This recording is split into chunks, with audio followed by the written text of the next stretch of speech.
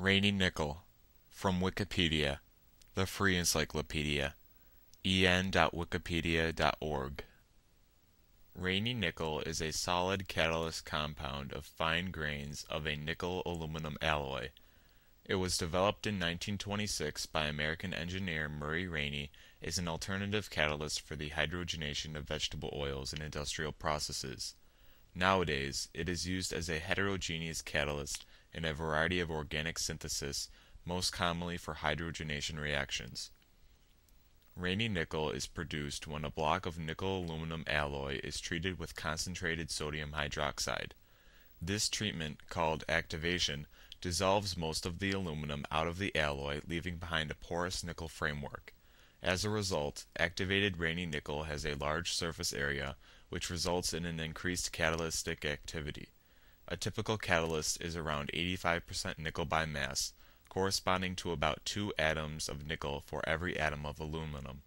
The aluminum that remains helps to preserve the pore structure of the overall catalyst. Since Raney is a registered trademark of W.R. Grace & Company, only those products by its Grace Davison division are properly called Raney nickel. Alternatively, the more generic terms skeletal catalyst or sponge metal catalyst may be used to refer to catalysts that have physical and chemical properties similar to those of Raney nickel. Section 1 Preparation Alloy preparation Alloys are prepared commercially by melting the active metal, nickel in this case, but iron and copper Raney type catalysts can be prepared as well, and aluminum in a crucible and quenching the resultant metal, which is then crushed into a fine powder. This powder may be screened for a specific particle size range depending on the application the catalyst may be required for. The initial alloy composition is important because the quenching process produces a number of different NiAl phases that have different leaching properties. This may result in markedly different porosities in the end product. The most common starting alloy in industry contains a equal amount per weight of nickel and aluminum. Incidentally, the same ratio Murray Raney used in his discovery of the Raney nickel. During the quenching procedure, small amounts of the third metal, such as zinc or chromium, may be added. This is done to enhance catalytic activity, and as such this third metal is called a promoter. Note that the addition of a promoter changes the alloy and its resultant phase diagram to that of a ternary alloy, leading to different quenching and leaching properties during activation. Activation the porous structure of the catalyst arises from the selective removal of aluminum from alloy particles using aqueous sodium hydroxide. The simplified leaching reaction is given by the following chemical equation. 2Al plus 2NaOH plus 2H2O yields 2NaAlOH4 plus 3H2. The formation of sodium aluminate, NaAlOH4, requires that the solution of high concentration of sodium hydroxide are used in order to avoid the formation of aluminum hydroxide, which participates as bayerite. Hence sodium hydroxide solutions with concentrations of up to 5 molar are used. Bayerite may cause blocking of the pores formed during leaching, and with a subsequent loss of surface area, it can reduce the efficiency and activity of the catalyst. The temperature used to leach the alloy has a markedly effect on the surface properties of the catalyst. Commonly used temperatures range from 70 to 100 degrees Celsius. The surface area of Raney nickel and skeletal catalysts in general tends to decrease with increasing leaching temperature. This is due to structural rearrangements within the alloy that may be considered analogous to sintering, where alloy ligaments would start adhering to each other at higher temperatures leading to the loss of porous structure. Before storage, the catalyst can be washed with distilled water at ambient temperature in order to remove any remaining traces of sodium aluminate. Oxygen-free water is preferred for storage in order to prevent oxidation of the catalyst, which would accelerate its aging process and result in reduced catalytic activity. Section 2 Properties Macroscopically, Raney nickel looks like a finely divided gray powder. Microscopically, each particle of this powder looks like a three-dimensional mesh, with pores of irregular size and shape, of which the mass majority are created during the leaching process. Raney nickel is notable for being thermally and structurally stable, as well as having a large BET surface area. These properties are a direct result of the activation process and contribute to a relatively high catalytic rate. During the activation process, aluminum is leached out of the NiAl3 and Ni2Al3 phases that are present in the alloy, while most of the aluminum that remains does so in the form NiAl. The removal of aluminum from some phases but not others is known as selective leaching. It has been shown that the NiAl phase provides the structural and thermal stability to the catalyst. As a result, the catalyst is quite resistant to decomposition, breaking down, commonly known as aging. This resistance allows Raney nickel to be stored and reused for an extended period of time. However, fresh preparations are usually preferred for laboratory use. For this reason, commercial Raney nickel is available in both active and inactive forms. The surface area is typically determined via a BET measurement using a gas that will be preferentially absorbed on a metallic surface, such as hydrogen. Using this type of measurement, it has been shown that almost all of the exposed area in a particle of the catalyst has nickel on its surface. Since nickel is the active metal of the catalyst, a large nickel surface area implies that there is a large surface area available for reactions to recur simultaneously, which is reflected in an increased catalytic rate.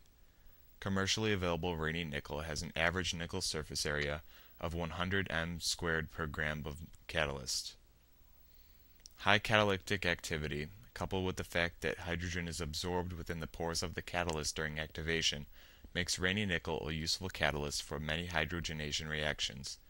Its structural and thermal stability, i.e. the fact that it does not decompose at high temperatures, allows its use under a wide range of reaction conditions. Additionally, the solubility of Raney nickel is negligible in most common laboratory solvents, with the exception of mineral acids such as hydrochloric acid and its relatively high density between 6 or 7 grams per centimeter cubed, also facilitates its separation off a liquid phase after a reaction is completed. Section 3 Applications Raney nickel is used in a large number of industrial processes and in organic synthesis because of its stability and high catalytic activity at room temperature. It is typically used in reduction of compounds that have multiple bonds, such as alkynes, alkenes, nitriles, dienes, aromatics, and carbones. Additionally, Raney nickel will reduce heteroatom-heteroatom bonds such as nitro groups and nitrosamines. It is also found use in the reductive alkylation of amines and amination of alcohols. A practical example of the use of Raney nickel in industry is shown in the following reaction, where benzene is reduced to cyclohexane. Reduction of the aromatic structure of the benzene ring is very hard to achieve through other chemical means, but can be effected by using Raney nickel. Other heterogeneous catalysts, such as those using platinum group elements, may be used instead to similar effect but these tend to be more expensive to produce than Raney nickel. After this reaction, cyclohexane may be used in the synthesis of adipic acid, a raw material used in the industrial production of polyamides such as nylon. When reducing a carbon-carbon double bond, Raney nickel will add hydrogen in a syn faction. In addition to being a catalyst, Raney nickel will also act as a reagent to desulfurize organic compounds. For example, thioacetals will be reduced to hydrocarbons. Nickel sulfide will precipitate as millerite, while ethane can easily be separated through distillation. Similar transformations are Clemmensen reduction and the Wolff-Kishner reduction. Section 4. Safety. Due to its large surface area and high volume of contained hydrogen gas, dry activated Raney nickel is pyrophoric material that should be handled under an inert atmosphere. Raney nickel is typically supplied as a 50% slurry in water.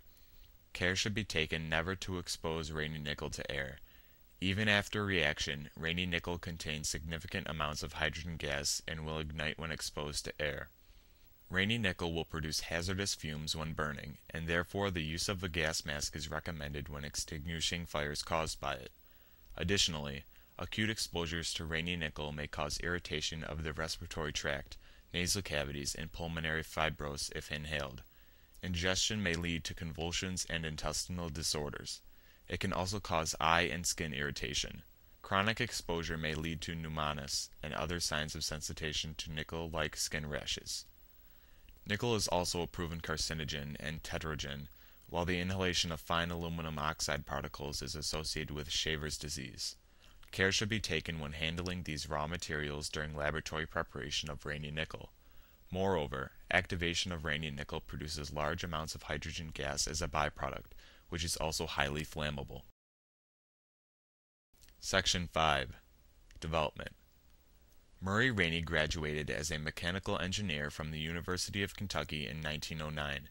In 1915, he joined the Lookout Oil and Refining Company in Tennessee and was responsible for the installation of electrolytic cells for the production of hydrogen, which was used in the hydrogenation of vegetable oils. During that time, the industry used a nickel catalyst prepared from nickel 2 oxide. Believing that better catalysts could be produced, around 1921 he started to perform independent research while still working for Lookout Oil. In 1924, a 1 to 1 ratio nickel silicon alloy was produced, which after treatment with sodium hydroxide was found to be five times more active than the best catalyst used in the hydrogenation of cottonseed oils. A patent for this discovery was issued in December 1925. Subsequently, Raney produced a 1 to 1 nickel aluminum alloy following a procedure similar to the one used for the nickel silicon catalyst. He found that the resultant catalyst was even more active and filed a patent application in 1926. It may be of interest to note that Raney's choice of nickel aluminum ratio was fortuitous and without any real scientific basis. However, this is the preferred alloy composition for production of Raney nickel catalysts currently in use. Following the development of Raney nickel, other alloy systems with aluminum were considered, of which the most notable include copper, ruthenium, and cobalt. Further research showed that adding a small amount of a third metal to the binary alloy would promote the activity of the catalyst. Some widely used promoters are zinc, molybdenum, and chromium. Recently, a way of preparing an enantioselective Raney nickel has been devised by surface absorption of tartaric acid. This sound file and all text in the article are licensed under the GNU Free Documentation License, available at www.gnu.org backslash copyleft backslash fdl.html.